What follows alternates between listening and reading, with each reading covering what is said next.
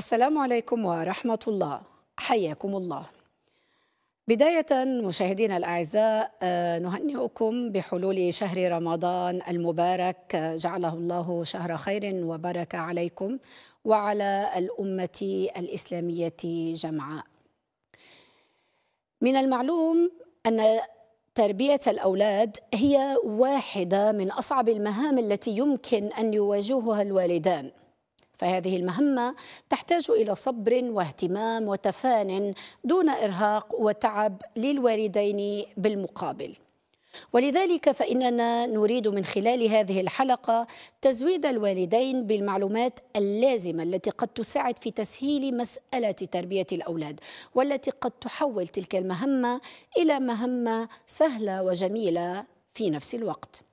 فتابعونا اليوم في هذه الحلقة من غراس تربوية لنتعرف على بعض تلك المعلومات من الأكاديمي والاستشاري التربوي والنفسي الدكتور إبراهيم بوزيداني. أهلا وسهلا بكم أهلا دكتور بكم. إبراهيم. أستاذ علياء أهلا بمشاهدينا الأعزاء. رمضان مبارك. ونسأل الله سبحانه وتعالى أن يوفقهم ويوفقنا وإياهم للصيام والقيام وصالح الأعمال. فقط يوجد مسألة أستاذ عليا. كان من المفروض أن أو يعني كان بيننا خلاف على عنوان هذه الحلقة. مم. فالأستاذة عليا كانت تفكر أن يكون العنوان ما هو معلوم من, من التربية بالضرورة. نعم. ووجهة نظري كان أن نعنونها بالأصول الستة للتربية. لكن الأمران متكاملان. يعني بمعنى أن هذه الحلقة ستحاول التركيز على الأشياء التي يجب أو ما هي الأصول العامة التي يجب أن يفكر فيها الآباء والأمهات عند قيامهم بدورهم التربوي جميل جدا نعم. يعني وهي بطبيعة الحال هذه الأصول يعني هي ضرورة لكي يعرفها كل مرب صحيح. آه، دكتور يعني التربية آه، في حالتنا اليوم أصبحت إما فيها مغالاة وإما فيها تسيب صحيح فبعض المربين من كث- كثرة حرصهم ومن خوفهم من ما يحيط بهم في المجتمع من مشاكل وأفكار سامة وغيره يغالي كثيرا ويخاف فتجده يركز على التفاصيل حيث أصبح يعيش في دوامة ورهبة وخوف آه، من التربية والمتابعة وحتى أصبح ي- يعني يعيش إذا صح التعبير أولاده في سجن كبير ويتابعهم ويراقبهم دون الدراية بهذه الأصول التي صحيح. تتكلمون عنها دكتور. نعم نعم. بالمقابل الكثير يجد التربية صعبة. نعم ولكي يتملص من هذه المسؤولية الكبيرة وهذا الهم الكبير تركه ويقول آه، كما يعني تأتي تأتي. نعم تمام يعني. نريد الوسطية دكتور. لا صحيح هو الوسطية لكن بقدر ما الإنسان يجتهد يعني الناس في مسائل التربية بين مقصر ومقتصد وسابق للخيرات. إن جميل صح التعبير على هذا الأمر. فهناك مستويات. المهم أن الإنسان لا ينزل عن مرتبة المقتصد وهو أن يكون له أصول فهذه. الحلقة. تركز على المقتصد يعني الإنسان الذي كما يقولون يجب أن يحافظ على ها الوسط لا ينزل دونه.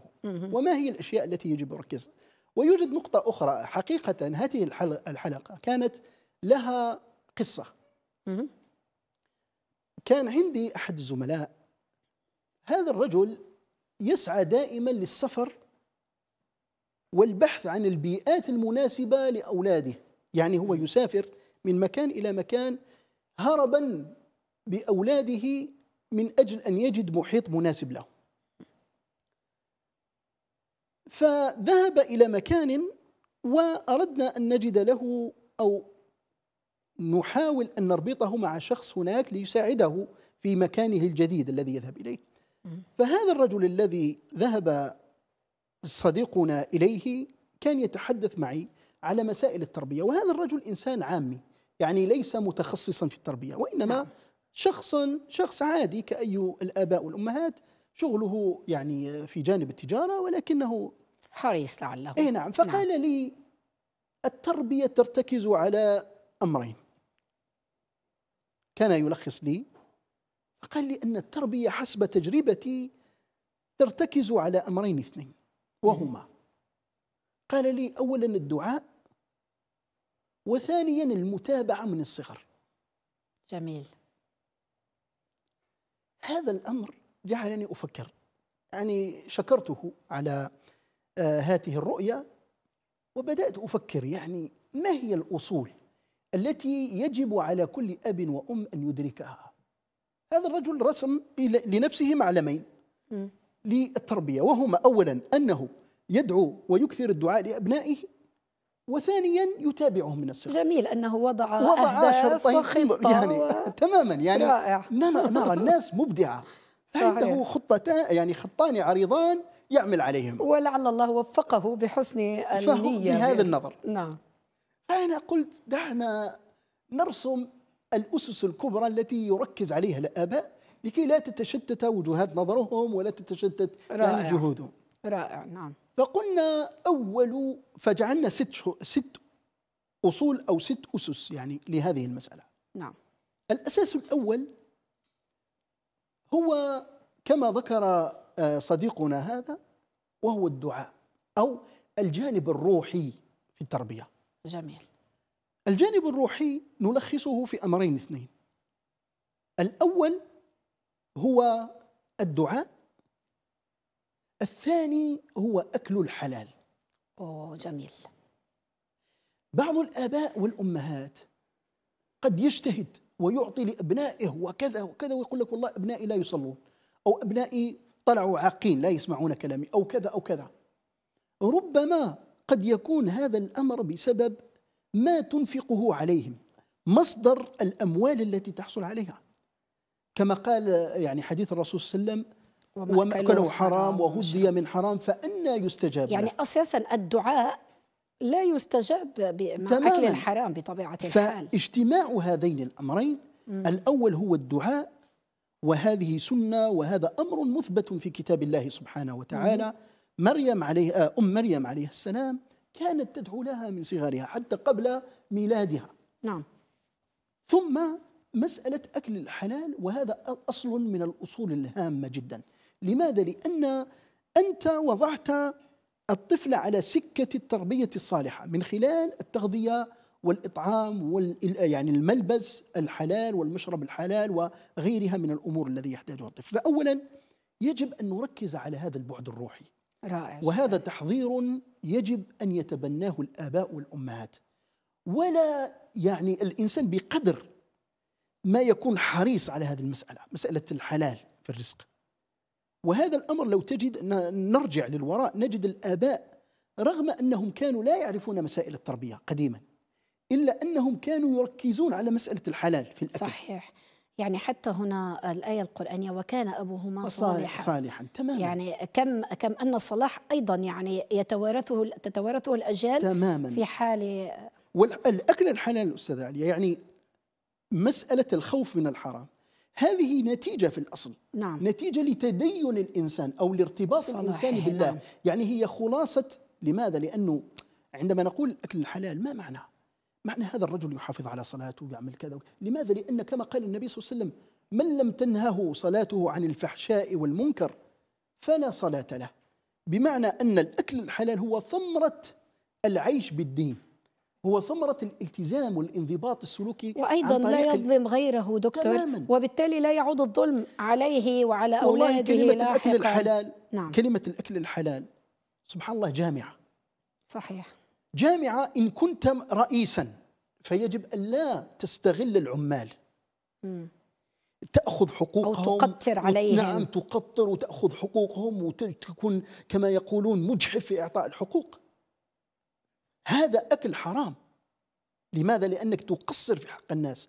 يعملون ساعات طويلة ولا يأخذون حقوقهم وتظن نفسك ذكي في أنك تحصل الأموال.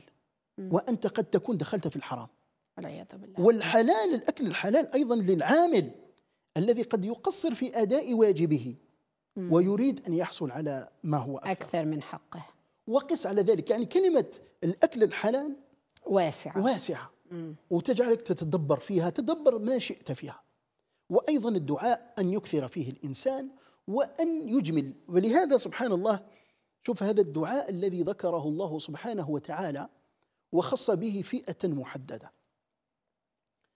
الله سبحانه وتعالى يقول حتى إذا بلغ أشده وبلغ الأربعين سنة قال رب أوزعني أن أشكر نعمتك التي أنعمت علي وعلى والدي وأن أعمل صالحا ترضاه وأصلح لي في ذريتي. يا الله. فقضية الدعاء للأطفال مثبتة في القرآن من عدة أوجه. رب اجعلني مقيم الصلاة ومن ذريتي. الكثير سبحان الله. فقضية الدعاء أصل من الأصول والأكل الحلال أصل من الأصول. جميل جدا. فهذا الأصل الأول الأصل التجهيز أو التهيئة الروحية للآباء والأمهات. جميل. الأصل الثاني ما هو؟ هو المعرفة. ماذا نقصد بالمعرفة؟ نقصد أن كل أب وكل أم كل أسرة يجب على الأقل يكون عندهم كتاب.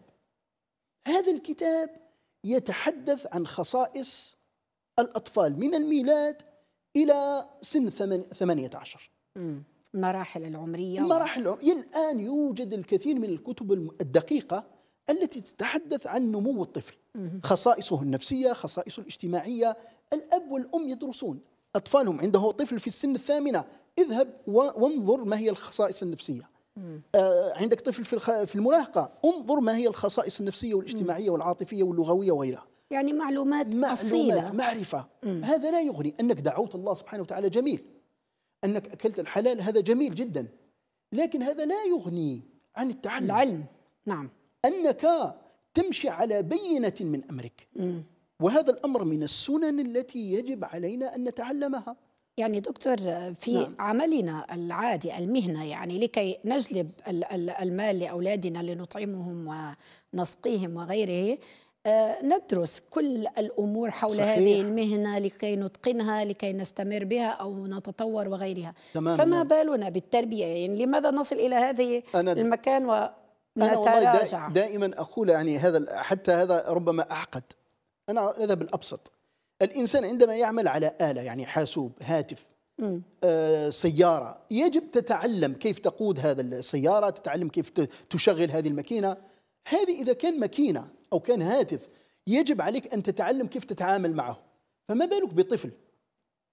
أليس هو أمرا أهم من هذه الآلات التي صحيح. نتعامل بها؟ صحيح. فأنت على الأقل تقرأ كتالوج يعني تقرأ هذا ماذا نسميه نحن آه، آه، إرشادات. إرشادات الاستخدام يعني. نعم. فأنت ترى نفسية الطفل في هذا السن رائع. وما يستلزمه. فالمعرفة أصل أيضا من الأصول التي يجب من الأصول الستة التي يجب علينا أن ندركها.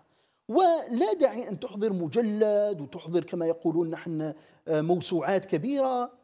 يمكن أن تحضر شيء موسوعة واحدة في التربية. لكن يوجد كتب مختصرة ملخصة, ملخصة تتحدث عن الخصائص المتعلقة بنمو الطفل في مختلف مراحله العمرية يعني على الأقل تكون على دراية, دراية. كيف يفكر ابنك نعم. في هذه لماذا؟ لأن معرفة هذه الأمور تنقص الضغط على الآباء والأمهات تمام. عندما تعرف أن الطفل في هذا السن يكون عنده هذه الخصائص عنده في هذا السن يكثر بكاؤه في هذا السن يكثر عناده في هذا السن تكثر مغامراته فأنت تكون على بينة تعرف بأن هذا, هذا أمر طبيعي, طبيعي وليس خارج عن نعم. تماما. الأصل الثالث هو المدرسة. لماذا نقول المدرسة؟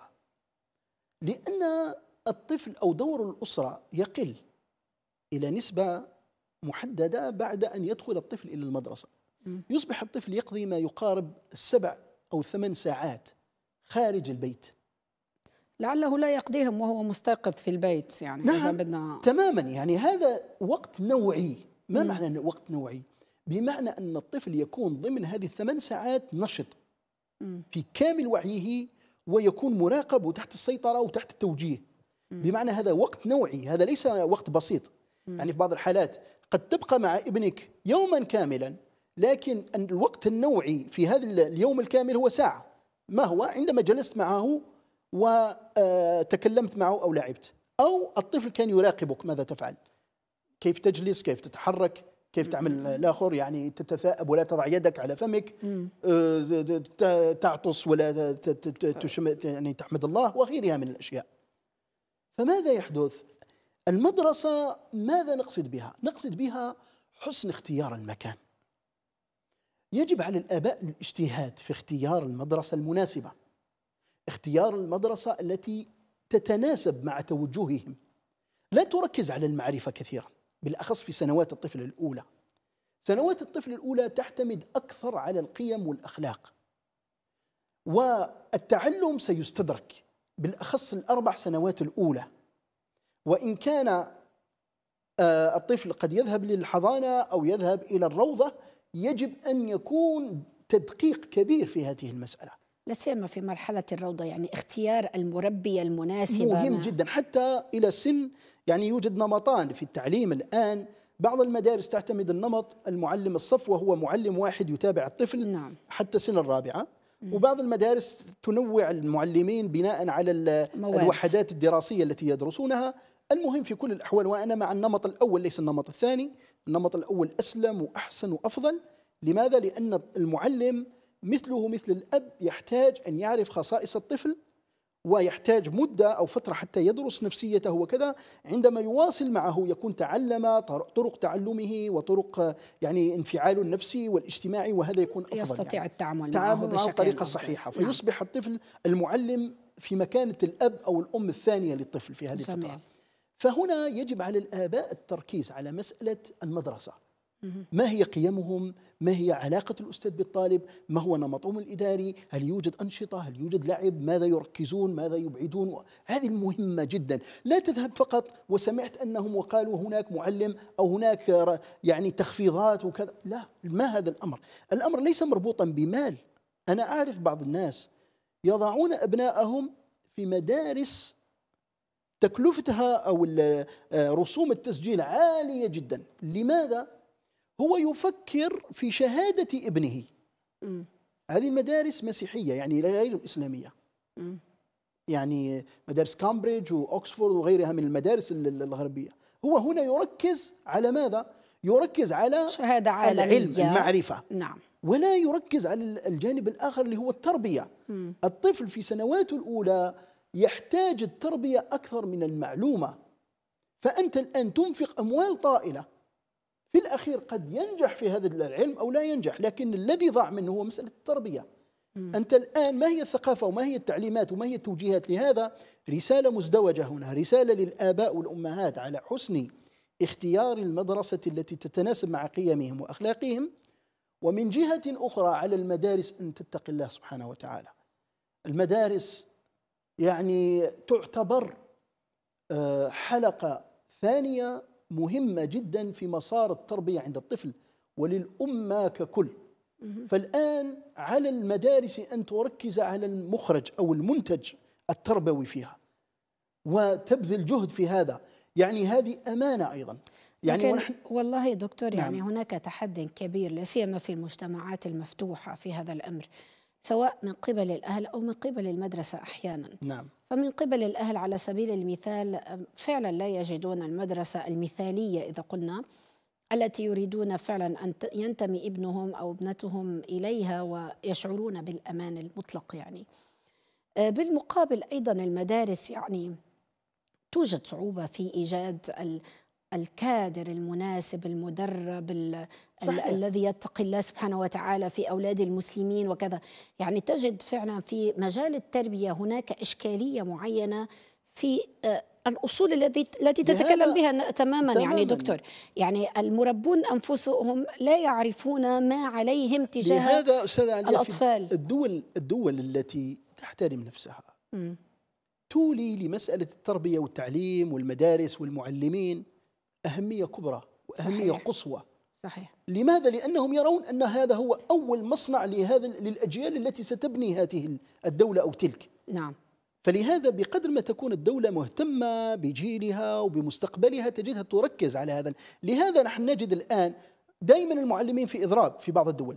صحيح. يطالبون بأدنى الحقوق. حقوقهم. صحيح. بالله عليك أنت إن لم تعتني بالمعلم بمن تعتني؟ تعتني لي ب بشركة عمال شركات البترول والإلكترو لا كل يعت- إنسان له حقه طبعاً، لكن طبعاً. هذا يجب أن يكون هو الركيزة لماذا؟ لأن هذا الذي سيصنع الأجيال التي ستستمر من خلالهم هذه الدولة أو المجالات تلك. الأخرى نعم تماما يعني فلهذا هذه المسألة من المسائل المهمة أيضا التي علينا أن نهتم بها نعم. وهو أصل آه ثالث من الأصول مهم. الأصل الرابع الأمومة والأبوة. ماذا أقصد هنا؟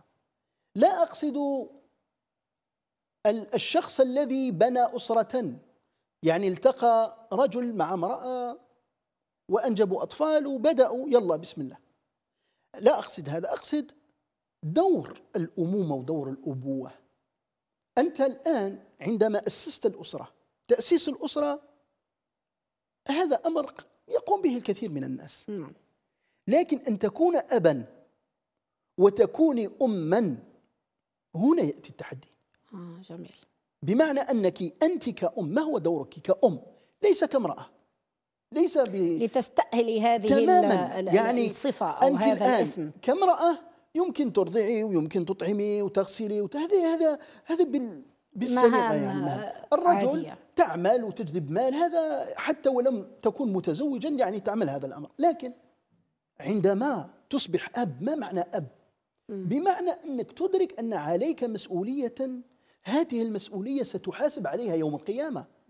هذا الأمر ماذا؟ يتطلب منك جهدا في القراءة في المعرفة كما ذكرنا وفي الدعاء وفي الأمور الأخرى التي يجب عليك أن تقوم قدوة بها. يعني أن تماما. تلعب دور الأب ولا يغيب عن بالك أنا الآن أصبح لدي أطفال. تماماً. وبالتالي أصبح لدي هناك أشخاص أحاسب يتأثرون تصرفاتي. تماماً. أحاسب عنهم. لهذا واختصرها القرآن الكريم نعم. في قوله قول الله سبحانه وتعالى يا أيها الذين آمنوا قوا أنفسكم وأهليكم نارا. الله. واحد من العلماء ذكر مسألة عجيبة جدا. الحارث بن أسد المحاسبي. ذكر مسألة ربما ملايين المسلمين يغفلون عنها. رغم أنها ذكرت في القرآن الكريم. صفة من الصفات التي يتصف بها أهل الجنة هي الإشفاق آه جميل ذكرها الله فقال إنهم كانوا قبل ذلك مشفقين مم. مشفقين على ماذا؟ جميل, جميل. تتم تتمة الآية تذهب عن خاطري الآن هذه الآية يذكر الله سبحانه وتعالى فيها كيف أن أهل الجنة كانوا مشفقين على أولادهم وأهليهم من النار. نعم.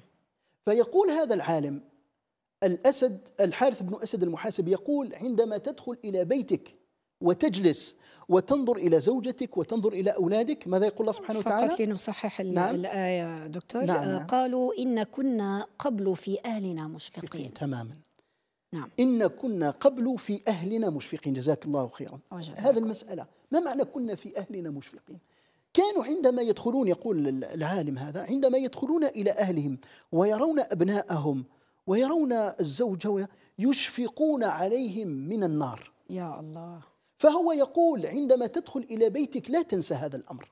استحضر هذا الشعور لكي تكون من أهل الجنة الذين يقولون يوم القيامة إنا كنا من قبل في أهلنا تلقائيا ستتعامل معهم على هذا. الأساس. شوف هذا سلوكيات. شوف هذا الشعور قال لك عندما تدخل استحضر هذا الشعور. جميل. عوض أنك تفكر في مستقبلهم ماذا يأكلون وماذا يشربون. تمام فكر في هذا. لكن أيضا فكر في مستقبلهم الأخروي. جميل. هذه المسألة المستقبل البعيد. البعيد جدا. مم. الذي يجعل الإنسان يفكر وتشعر بالشفقة. هل أجتمع بهم يوم القيامة أم لا؟ هل نكون كلنا في الجنة أنا وأبنائي الذين أحبهم كلهم أم كل واحد يأخذ مسار مختلف؟ هذا هو الإشفاق مم. الذي يجب أن يتبادر إلى قلب كل أم وكل أب. هذا الإشفاق يدفعك للعمل. سي... سيولد حرص يعني. وحرص وعمل. آه آه تماما. فلهذا نقول أن مسألة الأبوة والأمومة بمعناها العملي المسؤول هو أصل من أصول التربية وهو أصل رابع من الأصول. آه، دكتور نعم. لنعيد كي نركز مع المشاهدين آه، في هذه الأصول.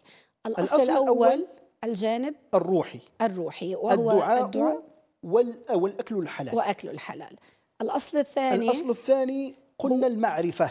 جميل. يعني بعد الإخلاص والصدق علينا أن نتعلم, نتعلم. ونتزود بالعلم. يكون عندنا على الأقل كتيب فيه الخصائص النفسية والخصائص ال- العاطفية والاجتماعية للطفل في كل مراحله لنعرف تمام. كيف نتصرف معه. جميل جدا. الأصل الثالث قلنا المدرسة. مم. بحكم أن المدرسة هي حلقة آه، مهمة من حلقات التربية. آه، موجودة فنختار ضمن- المكان نعم. المناسب لما نؤمن به من قيم. جميل. ونضع أولادنا هناك ولا نركز على الأمور الأخرى. وإن اجتمعت الأمور الأخرى مع هذا المسألة مسألة التربية يكون نور على نور.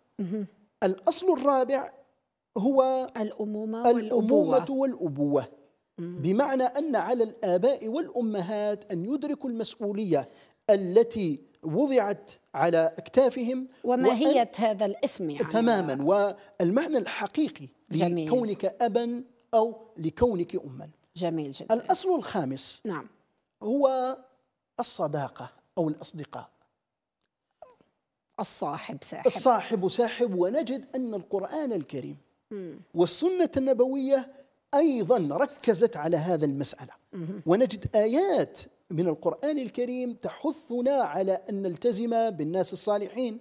ونجد أيضا أن هناك من آيات القرآن الكريم حديث أو حوار يذكره الله سبحانه وتعالى عن شخص أو مجموعة من الناس كانوا في الدنيا.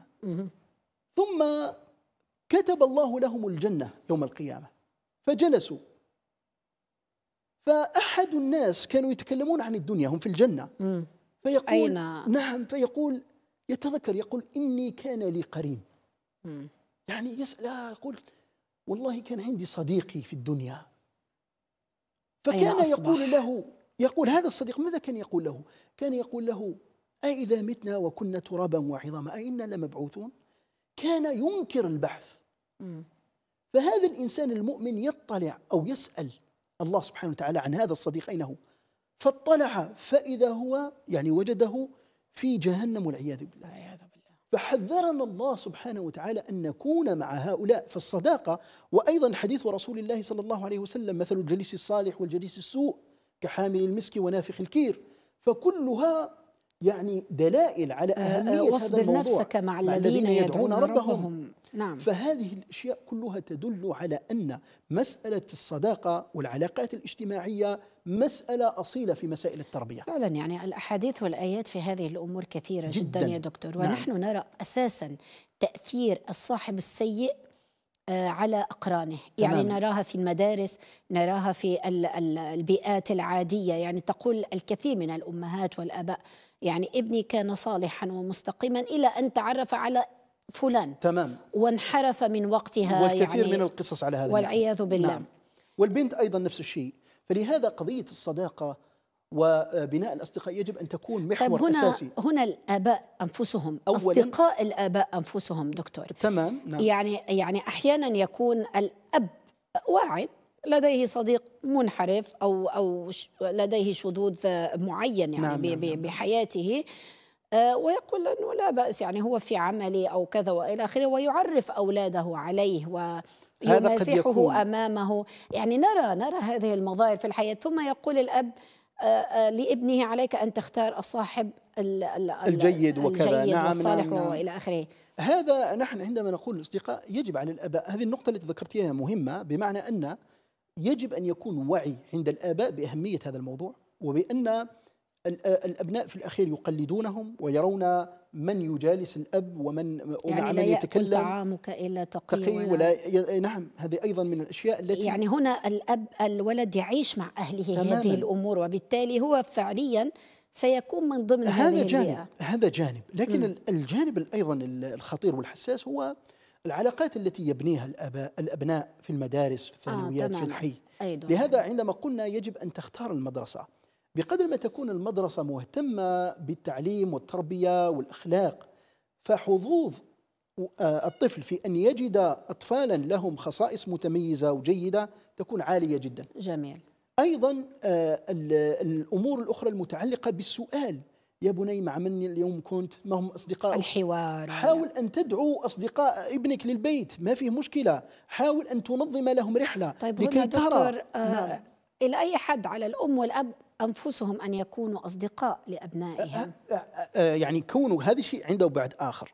يعني كون الأب والأم قريبين من الأبناء والنقاش هذا ربما نجعله مع الأصل الأصل الثالث واللي هو الأبوة والأمومة نعم. لأنه آه، الحوار وكذا لأنه نعم. اذا عرف أن من خصائص الطفل هي أن يكون هناك حوار ونقاش سيقوم بدور الأبو الأبوة والأمومة بطريقة صحيحة صحيح. يعني نعم جميل. الآن نقول أنه آه، أنك هنا مرحلة أخرى أنك تدعو أصدقاء ابنك تجلس معهم تراهم تراقب تلاحظ بدون طرق يعني بطرق غير مباشرة.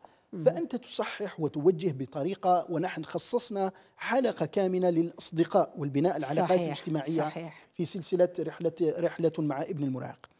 الأصل الأخير الذي نختم به هو التربية اللا صفيه أو التربية خارج المدرسة. ونقصد بها هنا النوادي المسجد الجمعيات آه، المنظمات المحيطة هذه من الأمور الهامة جدا م. في حياة الطفل لماذا؟ م.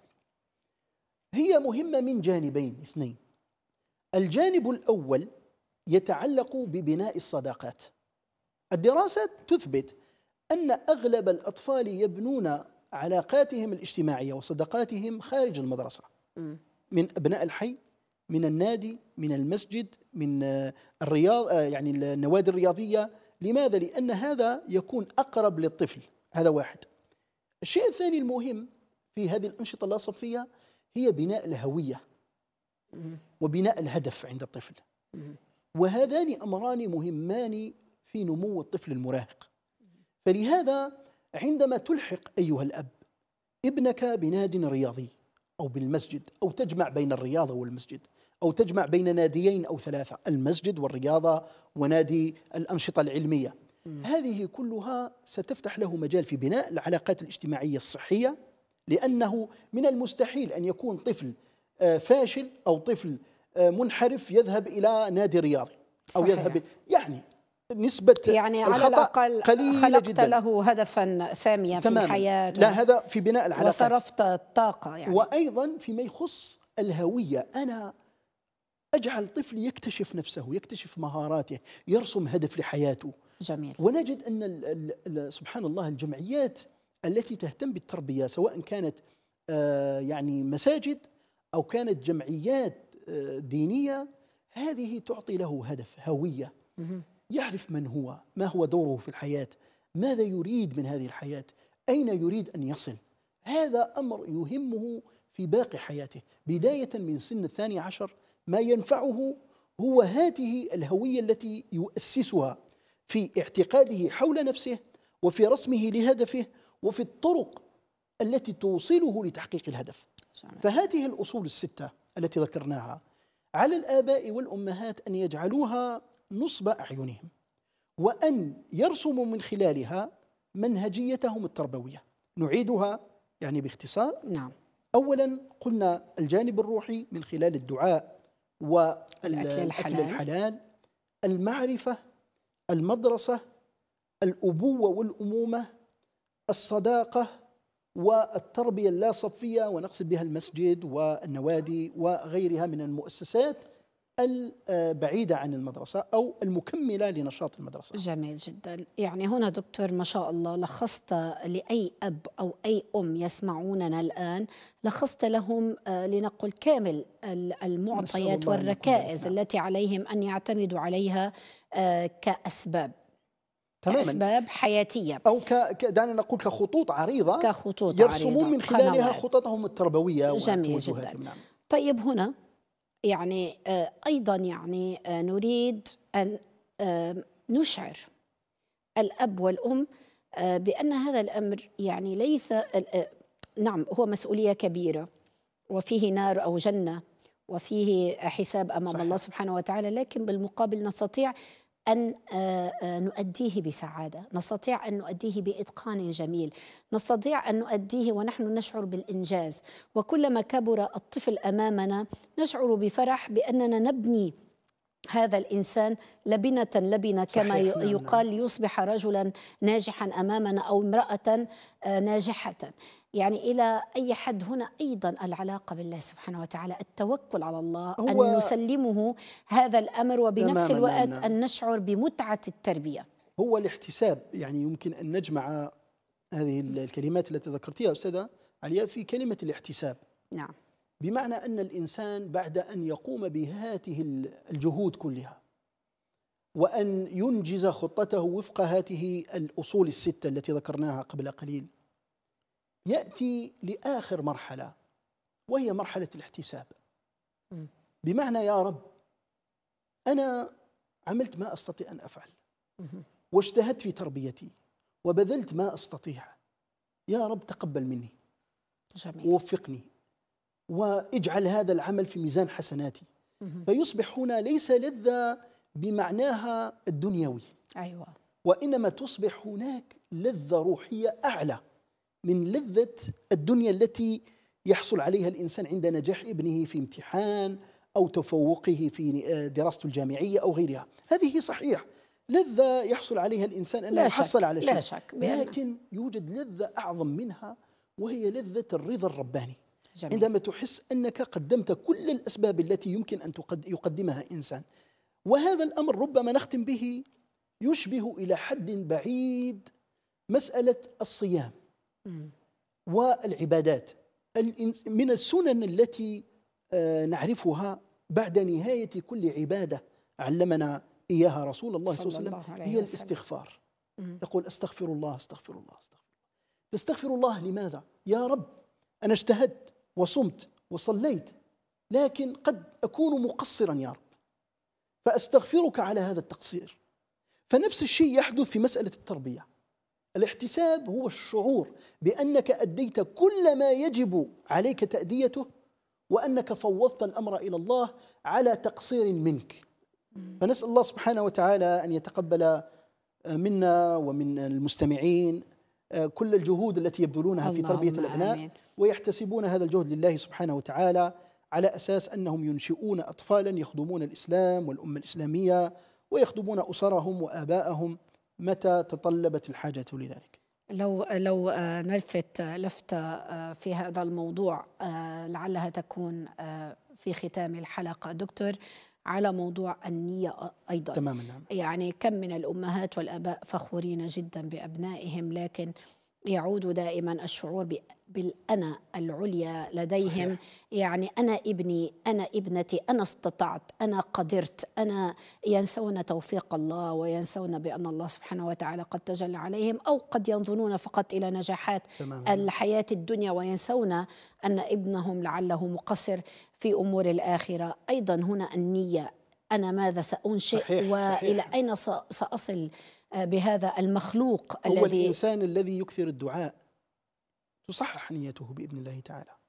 لماذا؟ لأن الدعاء هو اعتراف هو اعتراف بأن الإنسان يلجأ إلى الله بمعنى أنه غير قادر على أن يعتمد على نفسه لوحده وإنما يلجأ إلى الله سبحانه وتعالى لكي ماذا؟ يطلب العون من الله وهذا اعتراف بضعف الإنسان وتقصيره بارك الله فيكم أستاذ علي جزاكم الله خيرا دكتور إبراهيم بوزيداني. رحلة آه، في عالم التربية آه، طويلة عريضة ما شاء الله آه، مع دكتور إبراهيم. هذه الحلقة لعلها كان الأهل ينتظرونها بشغف منذ فترة آه، لكي يعني يسمعون لهم إيه نعم. ويسمعون كلاما لعله آه، يشعرهم بأن التفاصيل نعم. ليست دائما صحيح. يعني هي الأصل لكن هناك أمور عامة عليهم أن يراعوها وتبقى التفاصيل يعني آه، نخطئ نعم. ونصيب والإنسان خطاء بطبيعة الحال ولا يجلد أنفسهم كثيرا وبالمقابل صحيح. أيضا من ضيع أصلا من هذه الأصول الستة أيضا عليه أن يعرف بأنه مقصر صحيح. في تربية أبنائه وبأنه تسيب بشكل أو بآخر وعليه أن يمسك أو يعيد مسك زمام الأمور تماماً. قدر الاستطاعة تماما. آه، نصيحة في نهاية الحلقة دكتور إبراهيم آه، للمشاهدين المستمعين في التربية في شهر رمضان المبارك إلى أي حد والله علينا أيضا أن نستغل هذا الموسم الدعاء الدعاء لأنه آه، إن كان في هذا الشهر ليلة رمضان فقط فهي حرية بنا أن نجتهد لتحصيلها أو لأن نوفق لها. وهذا الأمر يعني يستدعي منا أن نبذل جهدا اضافيا في رمضان من أجل أن نكثر الدعاء لأن أكبر أو آه، أفضل عبادة في هذا الشهر هو الدعاء وهو الأصل الأول من الأصول التي ذكرناها. فإن وفق الإنسان في الدعاء لأبنائه ولنفسه وفي تربيته يكون خير بعدها بإذن الله تعالى فنصيحتي الإكثار من الدعاء في شهر رمضان ما شاء الله الله شكرا. لكم دكتور. إبراهيم. بوزيداني كما نشكر مشاهدينا الأعزاء ونذكرهم دائما بأن المال والبنون زينة الحياة الدنيا فما أجمل الأبناء وما أجمل أن يح يح يعطينا ويهبنا الله سبحانه وتعالى أبناء لعلهم يكونوا صالحين بإذن الله سبحانه وتعالى. إذا اتقينا الله سبحانه وتعالى وأخذنا بالأسباب وسرنا بطريق علم صحيح لكي نربيهم التربية الحسنة فهم سعادة الدنيا وإن شاء الله يكونون لكم ويكون كل أولاد المسلمين إن شاء الله لأهليهم آمين. في الحياة الآخرة. ونودعكم مشاهدينا الأعزاء متمنين لكم آه، أيام رمضان مباركة وصيام وقيام مقبولين بإذن الله سبحانه وتعالى. آه، لنلقاكم إن شاء الله في حلقة قادمة من غراس تربويه